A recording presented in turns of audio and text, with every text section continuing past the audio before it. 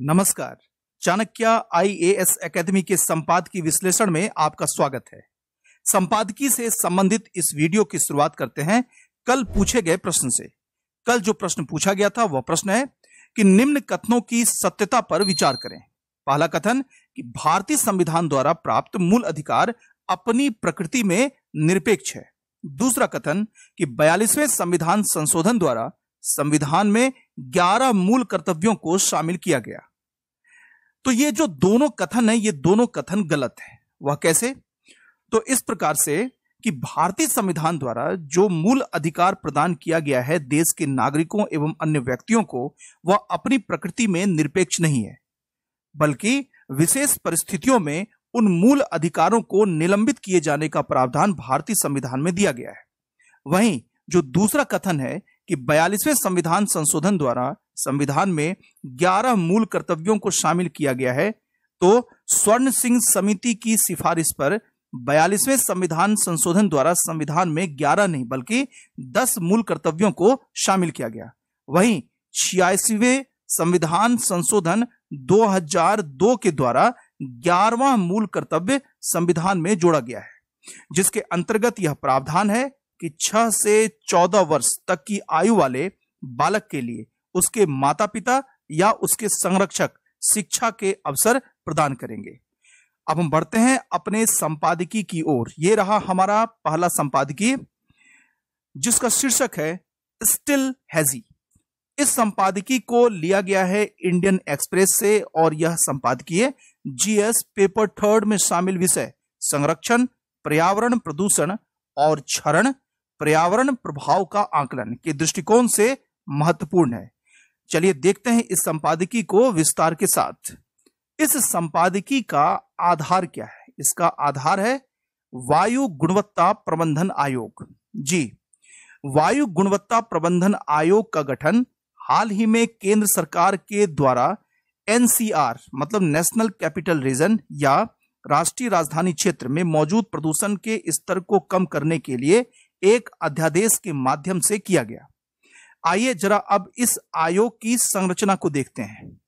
इस आयोग में 18 सदस्य होंगे, जिसके अध्यक्ष का कार्यकाल तीन वर्ष का होगा और अध्यक्ष के पुनर्नियुक्ति का भी प्रावधान इसमें शामिल है।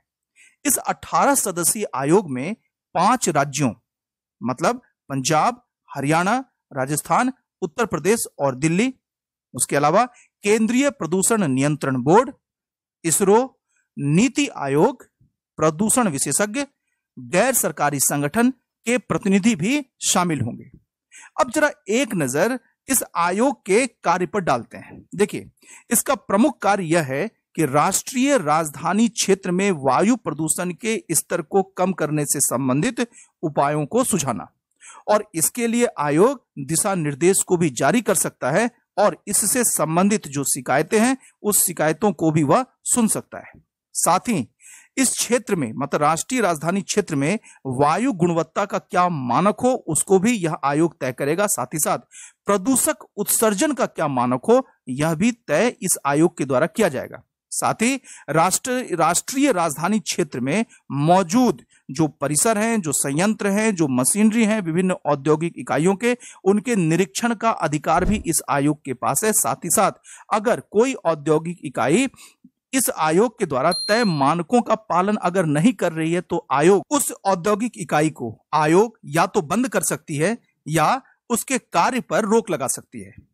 वहीं अगर आयोग को यह लगता है कि उसके द्वारा निर्धारित मानकों का उल्लंघन अगर कोई कंपनी, अगर कोई संस्था, अगर कोई विभाग अगर कर रही है तो आयोग स्वतः संज्ञान लेते हुए उनके विरुद्ध कार्रवाई कर सकती है। केंद्र सरकार के द्वारा जिस नए आयोग का गठन किया गया है, उसके पास दंडात्मक शक्ति भी है। मतलब यह कि अगर आयोग को यह लगता है कि उसके द्वारा जारी आदेश या दिशा निर्देश का उल्लंघन किया जा रहा है तो फिर आयोग पाँच वर्ष तक की जेल या एक करोड़ रुपए तक का जुर्माना या दोनों की सजा दे सकता है। और यहाँ पर यह भी महत्वपूर्ण है कि इसमें यह भी देखा जाएगा कि अपराध किसने किया है। अगर अपराध निजी कंपनी के द्वारा किया जाता है तो फिर दोनों को मतलब कंपनी को भी और उसके अधिकारी के विरुद्ध भी कार्रवाई की जाएगी। वहीं अगर सरकारी विभाग के द्वारा अगर किसी प्रकार का अपराध हो रहा हो, पर्यावरण प्रदूषण से संबंधित तो उसके प्रमुख के विरुद्ध कार्रवाई करने की बात इस नए अध्यादेश में है। अब यहाँ पर यह है कि इस नए आयोग के अस्तित्व में आ जाने के बाद पहले से मौजूद पर्यावरण प्रदूषण रोकथाम एवं नियंत्रण प्राधिकरण ईपीसीए को विघटित कर दिया जाएगा। अब यह जो आयोग बनाया गया है, जिस आयोग का गठन किया गया है उसका उद्देश्य क्या है? उसका उद्देश्य जैसा कि हम पहले ही जान चुके हैं कि राष्ट्रीय राजधानी क्षेत्र एवं उसके आसपास वायु प्रदूषण के स्तर को कम करने में सुव्यवस्थित प्रयास करना और जन भागीदारी को शामिल करते हुए इस प्रयास को सफल बनाना है। अब इसका कारण क्या है? इसका कारण यह है कि पिछले दस वर्षों में राष्ट्रीय राजधानी क्षेत्र में अगर हम हवा में मौजूद प्रदूषण स्तर को देखें तो उसमें लगातार बढ़ोतरी हो रही है। और इस प्रदूषण स्तर को कम करने के अगर हम उपाय देखें तो ठीक है, विभिन्न राज्यों के द्वारा उपाय किए जा रहे हैं। सेंट्रल पॉल्यूशन कंट्रोल बोर्ड के द्वारा भी उपाय किए जा रहे हैं। ईपीसीए मतलब पर्यावरण प्रदूषण रोकथाम एवं नियंत्रण प्राधिकरण के द्वारा भी उपाय किए जा रहे हैं। परंतु ये जितने भी उपाय किए जा रहे हैं, वो सारे के सारे उपाय क्या हैं? अलग अलग हैं। आखिर ऐसा क्यों? ऐसा इसलिए, जरा गौर कीजिए आप, कि केवल दिल्ली में जो प्रदूषण का स्तर है, उस प्रदूषण के स्तर को कम करने के लिए यह आवश्यक है कि दिल्ली की वार्ता लगातार उनके पड़ोसी राज्यों के साथ हो, परंतु यह नहीं हो पाए, क्योंकि प्रदूषण से संबंधित जो अन्य राज्य है, वह इस प्रदूषण स्तर को गंभीरता पूर्वक नहीं ले रहे हैं और उस पर विचार नहीं कर रहे हैं। वहीं अगर हम संस्थाओं की बात करें तो सेंट्रल पॉल्यूशन कंट्रोल बोर्ड और सुप्रीम कोर्ट द्वारा समर्थित यह जो ईपीसीए है, ये महज अपनी शक्तियों का अनुपालन कर रहे हैं और यूँ कहें तो वह खाना पूर्ति कर रहे हैं। और अगर अलग अलग विभागों की बात करें, चाहे वो परिवहन विभाग हो, चाहे वह उद्योग विभाग हो, चाहे वह स्वास्थ्य विभाग हो तो यह जो पर्यावरण प्रदूषण से संबंधित जो संकट दिख रहा है तो उसकी जिम्मेवारी ये अपने ऊपर नहीं ले रहे हैं। तो इन्हीं कमियों को देखते हुए वायु गुणवत्ता प्रबंधन आयोग को लाया गया है केंद्र सरकार के द्वारा, ताकि जितने भी हितधारक हैं, इन सभी हितधारकों को एक मंच पर इकट्ठा किया जा सके, ताकि जो प्रदूषण स्तर मौजूद है, उस प्रदूषण स्तर को निम्न स्तर पर लाया जाए। केंद्र सरकार ने अध्यादेश के द्वारा जिस नए आयोग की स्थापना की है, अब अगर उसकी समीक्षा की जाए तो हम यह देखते हैं कि संरचनात्मक दृष्टि से और दंडात्मक प्रावधानों की दृष्टि से यह जो नया आयोग है, पर्यावरण प्रदूषण पर नियंत्रण स्थापित करने के लिए पहले से मौजूद जो अन्य संस्थाएँ हैं, उन संस्थाओं की तुलना में इसकी शक्ति ज़्यादा है। परंतु यहाँ यह बात गौर करने वाली है, वह यह कि इसमें नौकरशाहों का वर्चस्व है। इसके अलावा इसमें यह कमी देखी जा रही है कि इसमें वायु गुणवत्ता विशेषज्ञों और वायु प्रदूषण विशेषज्ञों की भी कमी है। यह सही है कि आयोग में कृषि मंत्रालय और वाणिज्य और उद्योग मंत्रालय को शामिल किया गया है, परंतु ग्रामीण विकास मंत्रालय, स्वास्थ्य मंत्रालय जैसे महत्वपूर्ण मंत्रालयों को भी इसके अंतर्गत शामिल किया जाना चाहिए। वहीं पर्यावरण प्रदूषण के स्तर को आयोग कब समाप्त करेगा, इसके लिए किसी टाइम फ्रेम की बात इस अध्यादेश में नहीं की गई है। तो निष्कर्ष रूप में यहाँ पर हम यह बात कर सकते हैं कि एनसीआर में प्रदूषण के स्तर को कम करने के लिए आवश्यक दो शर्तें हैं। वो कौन कौन सी दो शर्तें हैं? पहला तो यह कि विभिन्न प्राधिकारियों या विभिन्न स्तरों पर मौजूद प्राधिकारियों के बीच बेहतर समन्वय स्थापित किया जाए। दूसरा, एनसीआर में रहने वाले जो लोग हैं, उनकी जीवन शैली में भी परिवर्तन हो। और जीवन शैली में परिवर्तन का मतलब यहाँ पर यह है कि जिस प्रकार से व्यक्तिगत वाहनों का प्रयोग दिल्ली में किया जाता है उसमें कमी आए। और इसके लिए यह ज़रूरी है कि सरकार के द्वारा सार्वजनिक परिवहन की उपलब्धता को बढ़ाया जाए। साथ ही साथ, स्टबल बर्निंग को रोकने के लिए किसानों के लिए जो आवश्यक क्षतिपूर्ति है, उस क्षतिपूर्ति को भी सुनिश्चित किया जाए। अगर ये प्रयास किए जाते हैं तो परिणाम सकारात्मक होंगे और तभी आयोग के गठन का जो औचित्य है, वह सही साबित होगा। इस प्रकार हमने इस संपादकीय के माध्यम से यह देखा कि एनसीआर में प्रदूषण स्तर पर नियंत्रण स्थापित करने के लिए अध्यादेश के माध्यम से लाई गई नई संस्था कौन सी है और इसकी क्या संरचना, कार्य शक्तियाँ हैं। चलिए, अब हम बढ़ते हैं अपने दूसरे संपादकीय की ओर, जिसका शीर्षक है क्लोज द डिजिटल गैप्स इस संपादकीय को लिया गया है फाइनेंशियल एक्सप्रेस से और यह संपादकीय जीएस पेपर थर्ड में शामिल विषय। स्वास्थ्य, शिक्षा, मानव संसाधनों से संबंधित सामाजिक क्षेत्र, सेवाओं के विकास और प्रबंधन से संबंधित विषय के दृष्टिकोण से महत्वपूर्ण है। चलिए देखते हैं इस संपादकीय को भी विस्तार के साथ। इस संपादकीय का आधार क्या है? इस संपादकीय का आधार है भारतीय शिक्षण प्रणाली में मौजूद डिजिटल गैप और यह पता कैसे चला? यह पता चला असर 2020 यानी कि annual state of education report 2020 से। असर 2020 के अनुसार स्मार्टफ़ोन की उपलब्धता वाले अगर घरों की हम बात करें तो जहाँ 2018 में यह आंकड़ा 36.5 प्रतिशत था, वहीं 2020 में यह आंकड़ा बढ़ते हुए कितना हो गया? 62 परसेंट। वहीं यह जो आंकड़ा है यह उत्साहवर्धक है, वह इसलिए क्योंकि ये जो हम यहाँ पर डाटा में प्रसार देख रहे हैं, उसमें 11 प्रतिशत जो घर हैं, उसमें नए स्मार्टफ़ोन इसलिए लिए गए ताकि बच्चों को शिक्षा मिल सके। वहीं अगर हम स्मार्टफ़ोन तक छात्रों की पहुँच की बात करें तो जहाँ निजी स्कूल के तीन चौथाई मतलब कि 75 प्रतिशत छात्रों की पहुँच स्मार्टफ़ोन तक है, वहीं सरकारी स्कूल के स्तर पर अगर हम देखें तो यह महज 44 परसेंट है मतलब 44 प्रतिशत है। मतलब अगर हम निजी स्कूल और सरकारी स्कूल के बच्चों में अगर डिजिटल गैप देखें तो यह डिजिटल गैप काफ़ी ज़्यादा है। वहीं देखिए, एक और चौंकाने वाली बात यह है कि सरकारी स्कूल में नामांकन की दर जहाँ 2018 में छात्र और छात्राओं का देखें कितना था, छात्र का था मान लीजिए sixty two point eight percent, छात्रा का कितना था सेवेंटी परसेंट। तो 2020 में हम क्या देख रहे हैं? 2020 में हम देख रहे हैं कि छात्र और छात्रा, इन दोनों के स्तर पर सरकारी स्कूलों में नामांकन की दर में क्या हुई है? वृद्धि हुई है। तो मतलब अब यहाँ पर यह है कि जहाँ स्मार्टफ़ोन तक छात्रों की पहुँच की अगर हम बात करें तो निजी स्कूल और सरकारी स्कूलों में हमें डिजिटल गैप दिखता है। और उसके बाद हम यहाँ पर क्या देख रहे हैं कि सरकारी स्कूलों में नामांकन की दर में वृद्धि हुई है। तो मतलब यहाँ पर यह है कि जो डिजिटल गैप है, वह और भविष्य में बढ़ सकता है। क्योंकि सरकारी स्कूल में पढ़ने वाले छात्रों की निर्भरता ज़्यादातर किस पर है? ऑफलाइन सामग्री पर ही है। वहीं आगे इस रिपोर्ट में यह बात कही गई है कि ऑनलाइन लर्निंग में अगर निजी स्कूल के छात्रों को हम देखें तो 29 प्रतिशत छात्रों की पहुँच वीडियो और रिकॉर्डेड क्लास तक है और 18 प्रतिशत छात्रों की पहुँच लाइव क्लास तक है। वहीं अगर सरकारी स्कूल के आंकड़ों पर गौर करें तो 18 प्रतिशत छात्रों की पहुँच वीडियो रिकॉर्डेड क्लास तक है, जबकि 8 प्रतिशत छात्रों की पहुँच लाइव क्लास तक है। मतलब यहाँ भी हमें निजी स्कूल के छात्रों और सरकारी स्कूल के छात्रों में क्या दिख रहा है? एक अंतर दिख रहा है डिजिटल लेवल पर। और अगर हम इन आंकड़ों की तुलना 2018 के उन आंकड़ों से करें, जिसमें कि कक्षा पाँच में पढ़ने वाले बच्चे कक्षा दो की पाठ्य पुस्तकों को पढ़ सकते हैं कि नहीं पढ़ सकते हैं तो देखिए निजी स्कूल में यह कितना था? 65 परसेंट मतलब ये कि निजी स्कूल के पैंसठ प्रतिशत बच्चे कक्षा पाँच वाले व कक्षा दो के पाठ्य पुस्तकों को पढ़ सकते हैं, जबकि यही आंकड़ा सरकारी स्कूल में कितना था? 44 परसेंट। तो मतलब यहाँ पर यह है कि अगर टेक्नोलॉजी की बात ना भी की जाए तो भी निजी स्कूल और सरकारी स्कूल के बच्चों में एक अंतर दिखता है। और जब तकनीक का समावेशन हो जा रहा है तो फिर यह अंतर क्या हो रहा है? यह अंतर और बढ़ता चला जा रहा है। तो निष्कर्ष रूप में यहाँ पर यह बात की जा सकती है कि यह जो अंतर है, उसमें अंतर में वृद्धि ना हो। मतलब यह जो डिजिटल गैप है, इसमें वृद्धि नहीं होनी चाहिए। इसलिए सरकार, चाहे वो केंद्र की सरकार हो या विभिन्न राज्यों की सरकार हो, इस डिजिटल डिवाइड को कम करने के लिए रणनीतिक रूप से प्रयास प्रारंभ करें, रणनीति का निर्माण करें। क्योंकि महामारी से पहले ही अगर हम सीखने के लेवल की बात करें लर्निंग लेवल की बात करें तो उसमें अंतर मौजूद था और महामारी के बाद जब तकनीक का समावेशन हो गया तो यह अंतर और क्या होता चला जा रहा है? बढ़ता चला जा रहा है। नई शिक्षा नीति में 2030 तक शिक्षा में सार्वजनिक व्यय पर, जो लक्ष्य रखा गया वह कितना है? सार्वजनिक व्यय का लक्ष्य वह है जीडीपी का छह प्रतिशत।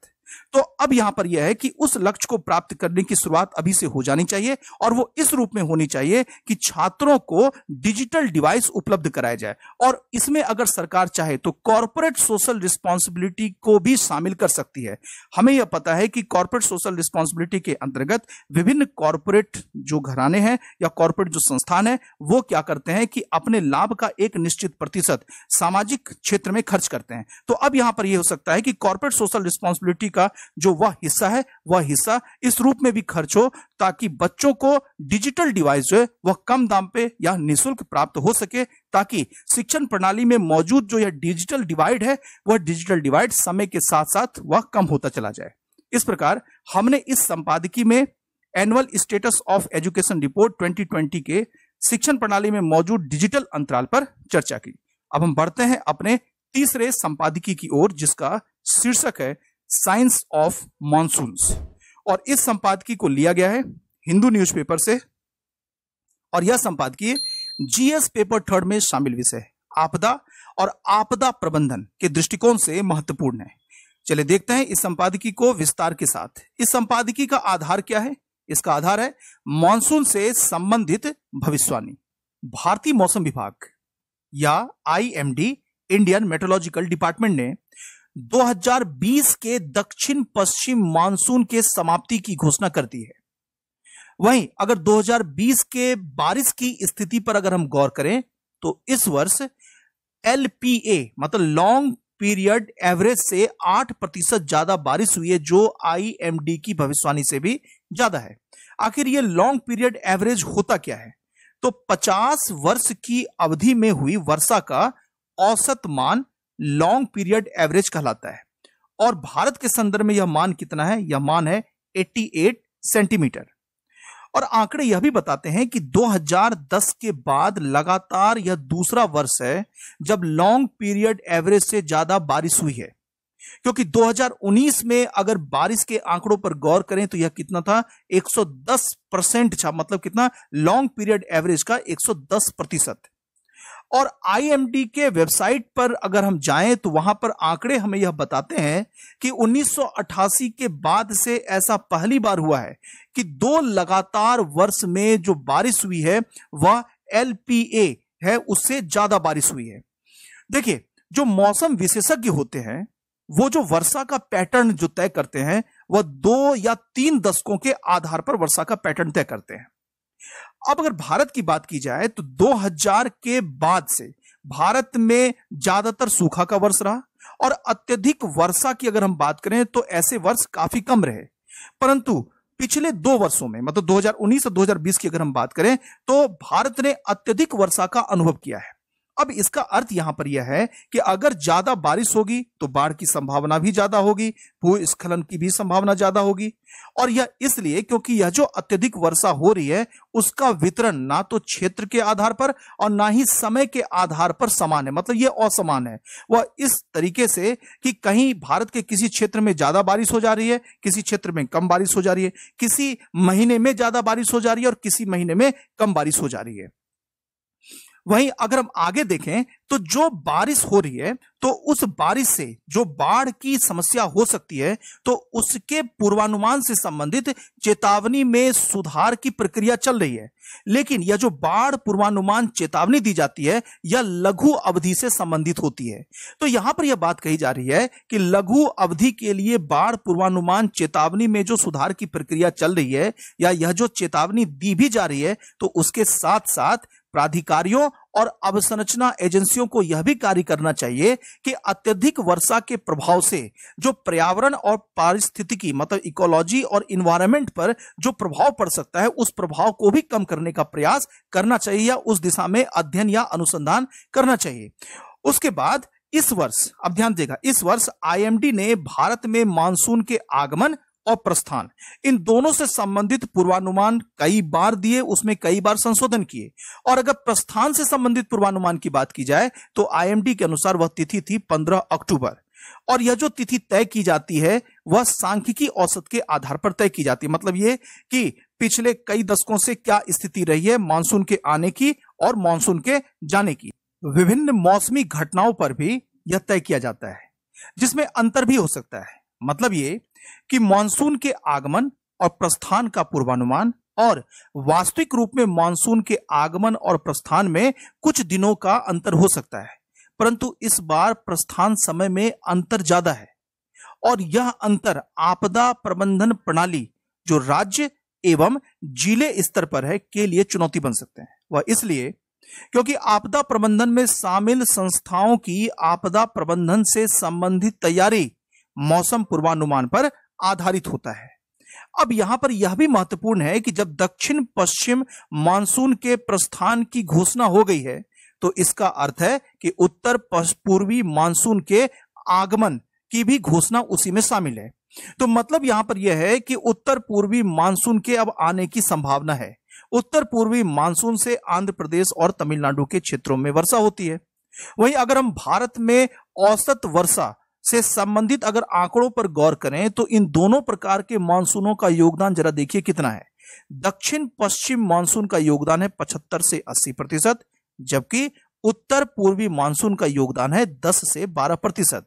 अब उत्तर पूर्वी मानसून का भौगोलिक विस्तार सीमित है तो यही कारण है कि उत्तर पूर्वी मानसून से संबंधित अनुसंधान में कमी है। परंतु अध्ययन में यह भी पाया गया है कि उत्तर पूर्वी मानसून के आगमन में भी अनिश्चितता दिखती है और उससे संबंधित जो भविष्यवाणियाँ की भी जाती है, वह भी सटीक नहीं बैठती है। अब भारत में मौसम संबंधी पूर्वानुमान में शुद्धता ज़्यादा से ज़्यादा हो, उच्च स्तर पर हो, इसके लिए सुपर कंप्यूटर में निवेश किया जा रहा है। परंतु इसके साथ साथ वैज्ञानिकों के लिए यह आवश्यक है कि मानसून की इस अनिश्चित प्रकृति के अध्ययन को अपने अनुसंधान कार्यक्रम में शामिल करें। उसके अलावा स्थानीय स्तर पर मतलब भारत में स्थानीय स्तर पर जो जलवायु परिवर्तन हो रहे हैं, उसको भी अपने अनुसंधान कार्यक्रम में शामिल करें, ताकि आपदा प्रबंधन को प्रभावी तरीके से संपूर्ण देश में लागू किया जा सके।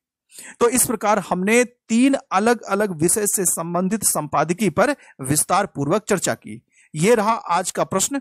प्रश्न है कि निम्न कथनों की सत्यता पर विचार करें। पहला कथन, शिक्षा की वार्षिक रिपोर्ट प्रतिवर्ष शिक्षा मंत्रालय द्वारा जारी किया जाता है। दूसरा, शिक्षा नीति 2020 के अंतर्गत शिक्षा पर सार्वजनिक व्यय का लक्ष्य जीडीपी का छह प्रतिशत है। सही विकल्प का चुनाव करें।